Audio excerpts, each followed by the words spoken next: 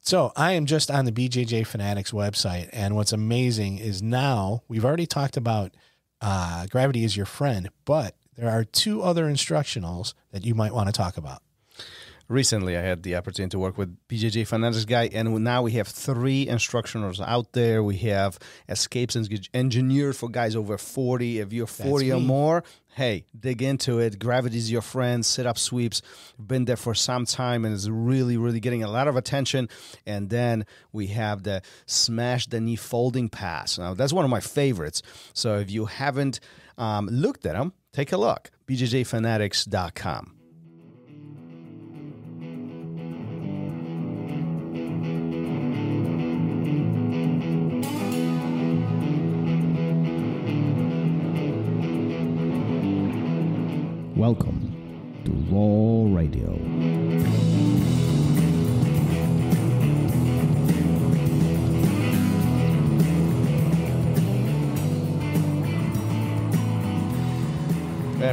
Here we go. Squeak, squeak.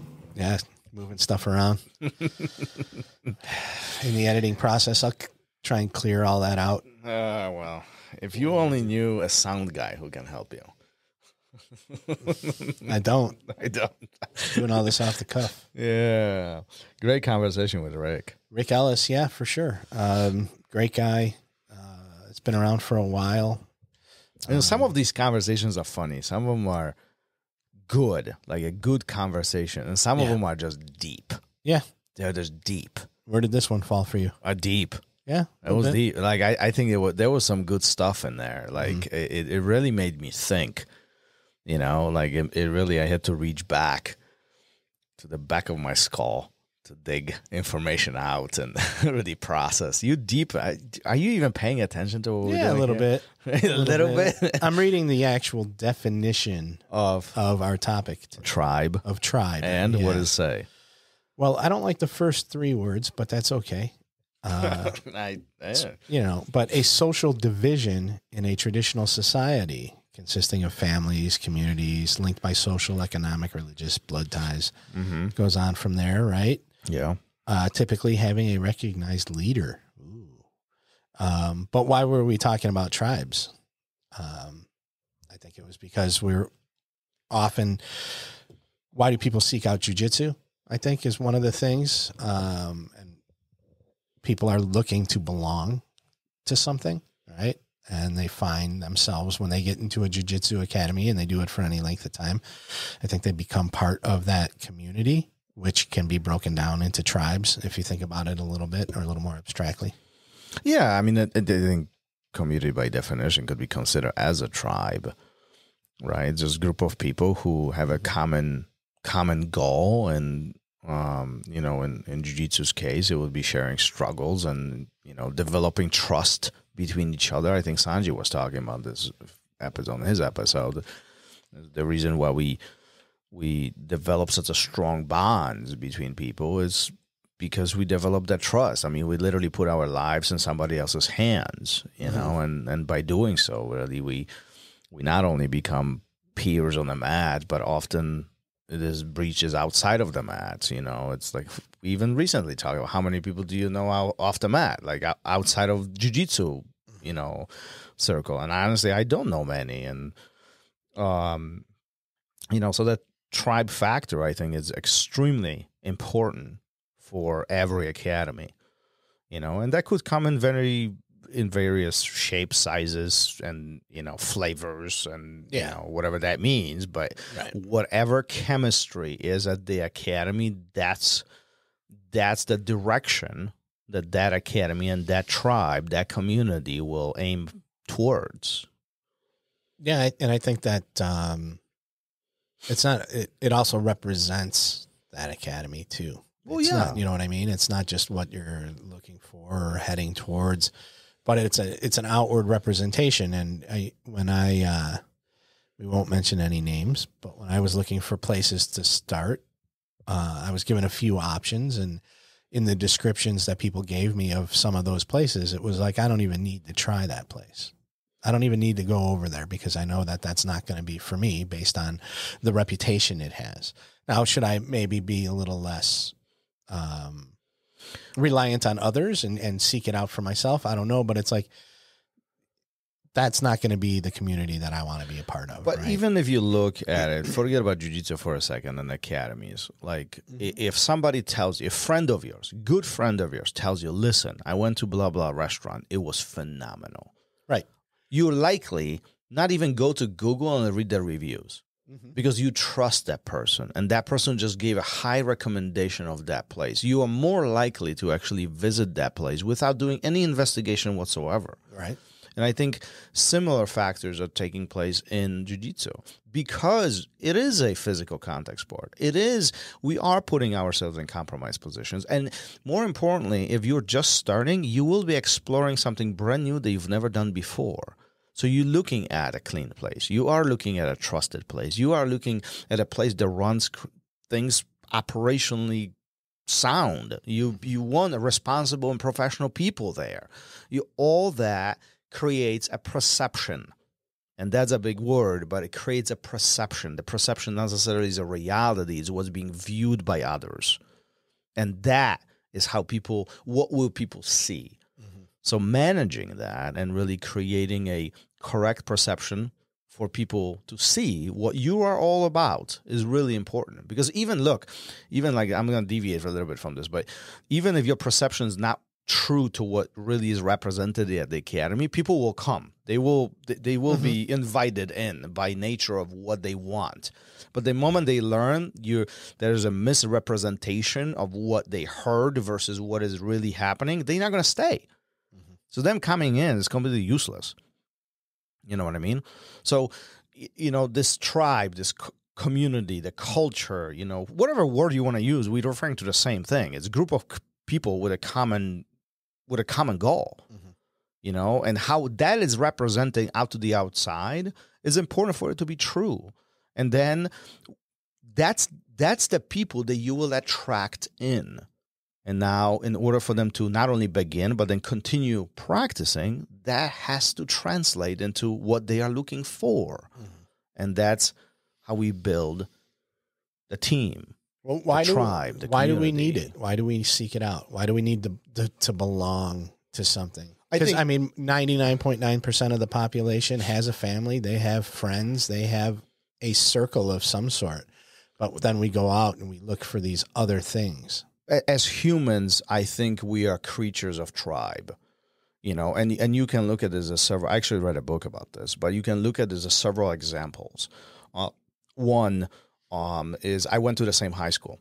Boom. Mhm. You you you don't know those people. You don't. But the moment you find out that they went to the same class, hey, what's up? Oh yeah, you know so and so, blah blah blah. That's a that's a small example. You know, here's another one. You you are in Paris. You're in France, and you see American. You have no idea who they are.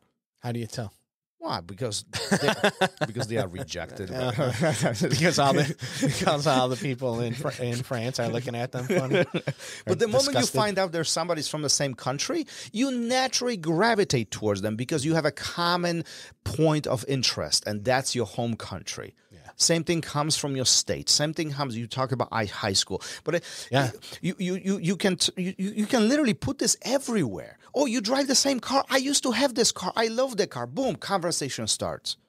You know, and this can be taken anywhere and everywhere, and I think it's magnified in jiu-jitsu because we embrace the grind.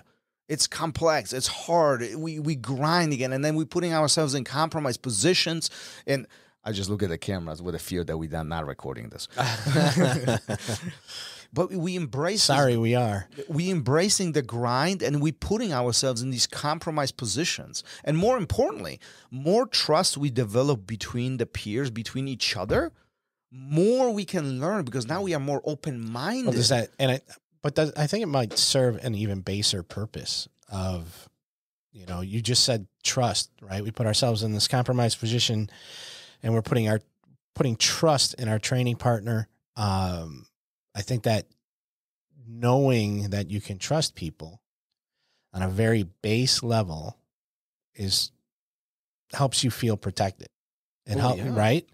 yeah. and I we put ourselves in these tribes, whether it's on the mat or or outside of jujitsu, but you put yourself in because you feel safe. Yeah. You feel protected.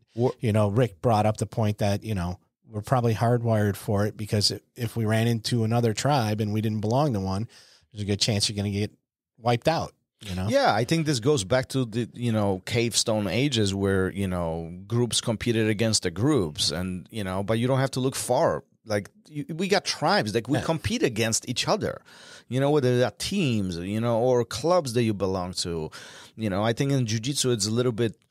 There's a lot of gray area there, but it, it's still very present in our life where we compete. You know, our high school teams, our school teams, whatever. Like we compete. All the team sports are competition between two because they are two different tribes, and it's like why? Why is it that you know? I don't know. Nobody owns Chicago Bears jersey, but uh, but you, you know what I mean. It's like you have this. you're part of the tribe. you're part of that group, and you might not know them personally, but the fact that they have the same jersey as you just makes you part of the same tribe. Isn't that interesting?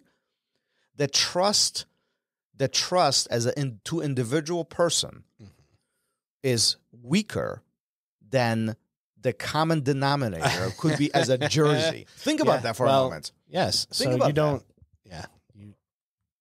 So you're a fan of the shirt. You're not really a fan of the team, right? Well, but but that that's that magnifies the power of the tribe. Think about it. If that same person was not wearing that jersey, would you approach them?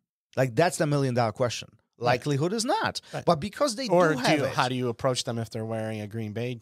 or jersey, if they wear right? the opposite jersey, what Yeah. what does even worse, right? Uh-huh. But like, it is such an interesting topic, in my opinion. Like, we can simply make a judgment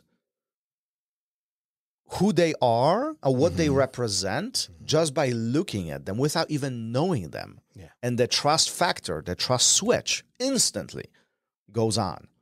You know, it, it's I- in my mind, it's mind blowing. Yeah, it's very, it's, it, it is very, it can be very, it's very simple, yet at the same time, it's very complex underneath when you start trying to Yeah. dig out why we seek it out, why we need it. You know, how is, is it something that goes back centuries? You know, um, Well, there's like the three things that every student is afraid of, right? Being hurt, being embarrassed, and being, Being wrong, wrong. right? If you're part of the tribe, you avoid all three of them. Now, somebody in your tribe would not intentionally hurt you. They will not make you embarrassed. I mean, those are the principles. yes. well, once you're well established in that tribe, they make you embarrassed for sure. It's it's, it's a goal of some, some but people. but yeah, well, you know what I'm it- talking about. Yeah, yeah, yeah. Just teasing. But but but but but I think those are the at the very base level of human operation. Those are the factors that we are seeking. We don't want to be hurt. That that's that's the physical protection that we're trying to generate be, in front of us and in front of our well, kids. it's security. It's Yeah. security. It's and and right because physical security, mental security, or stability, maybe. Yeah. Um, that you need these things in order to function. yeah. And if you don't have them, it becomes extremely hard to function Yeah. on a daily basis. Yeah. You know, and when people aren't part of something, I think part of something growing up, um, I think it it really bo- it really it, um, what's the word I'm looking for? You you become very stagnant in your growth, right? Mhm. Now, now you can get too deep and dedicated to a tribe and become stagnant too. But I think that if you're not exposed to things um, and find those commonalities with other people as you're growing up, once you hit a certain point, you're that is gonna it, it becomes harder to find, harder to achieve. You know, and you see it when you see an adult come in here who's terrified to walk through the door of an academy um, they're probably terrified to walk through the door of a LA Fitness. They're probably terrified to Mhm. walk through the door of a music school. They're terrified of because they haven't they d- haven't had those tribal experiences at a very at a younger age. They've played it safe or they've been kept safe. Yeah. You know.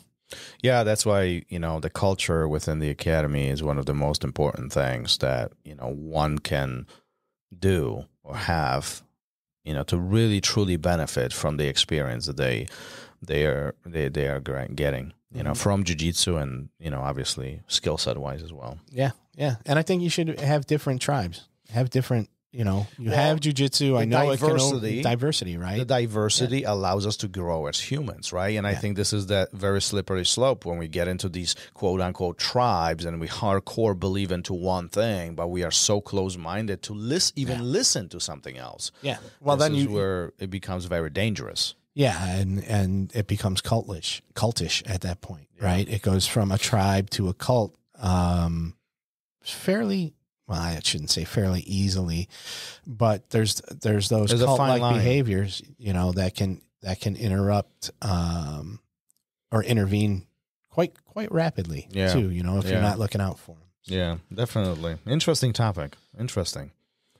All right, All right, are we done? let's uh, la- la- ra- let's wrap gonna this up for today. All right, then. I'll talk to you soon. Later, peace. Peace. Thank you for listening to ROL Radio. If you enjoyed the show, don't forget to leave us a review and help us make the show even more amazing. For future episodes, check out our website and follow us on all major podcast platforms. Take care.